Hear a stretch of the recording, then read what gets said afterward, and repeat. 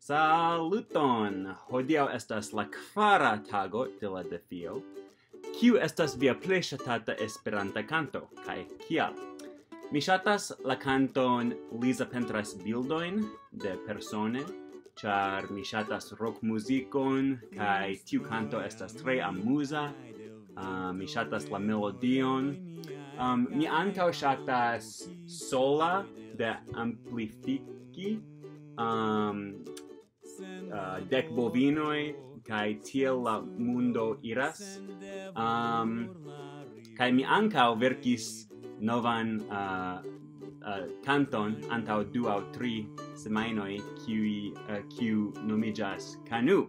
Um, do mi tre shatas muzikon.